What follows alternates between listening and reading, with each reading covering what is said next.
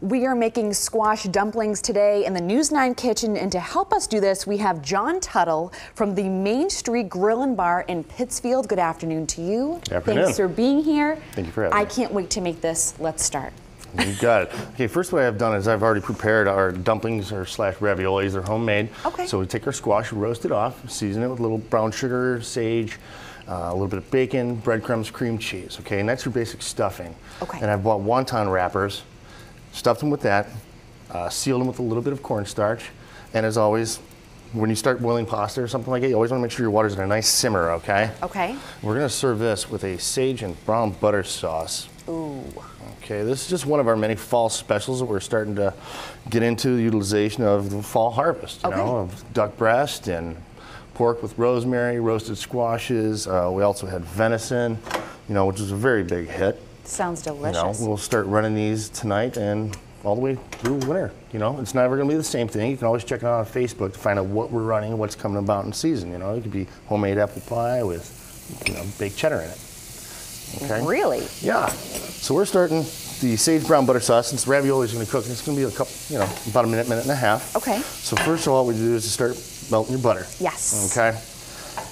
Easy. Easy. Once it starts to get to that point, yeah.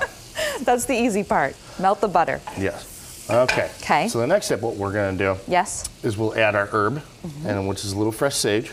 Okay. Okay. See how that butter's starting to change some color? It's caramelizing. The flavor's coming out. It gets more of a nutty flavor. Okay. Okay. This is a white wine and lemon mixture. All you need is a little splash of that. All right. All right. And once this gets going, it's going to go real quick on you for a sauce. Okay.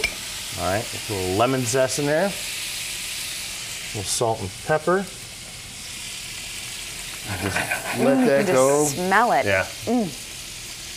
Very aromatic. Very aromatic. Yes, it is. The sauce literally will take you about 30 seconds, maybe, Okay. and that's it. If you let it go too long, the pan's still hot, it'll burn. So it's like very last minute. You Okay. don't want to let that happen because it'll get very bitter. Yes. Okay, so our dumplings are floating, Okay. which indicates that they're nice and done.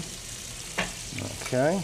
I wish people at home could smell this because it's just so delicious. Fall is one of my favorite seasons.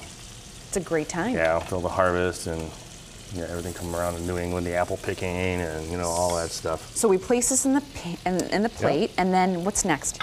What's next is we're going to finish it with our brown butter sauce. Okay. And we're running out of time, so I want you to help us finish this off here, John. You got it. Then I'm gonna place some of our house-made candied walnuts on the top. delicious Okay, give it a little sweetness, a little bit of fresh grated Parmesan cheese. Finish that right off. Touch more herbs just for a little color and accent, and a little bit of lemon zest. Excellent job, John. Thank you so much for being here. This looks delicious. Thank you. We'll be right back.